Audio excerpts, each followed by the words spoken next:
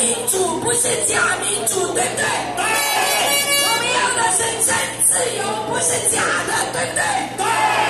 民进党专门干谎言骗术，这个政府太可恶了，专门用一个假的一个帽子，说他是民主进步党，他是不是骗人？